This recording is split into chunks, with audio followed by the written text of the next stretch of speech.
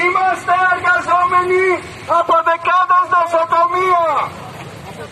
Η κυβέρνηση δολοφονεί. Η κυβέρνηση κάνει έσχη στα νοσοκομεία. Δεν θα τους αφήσουμε.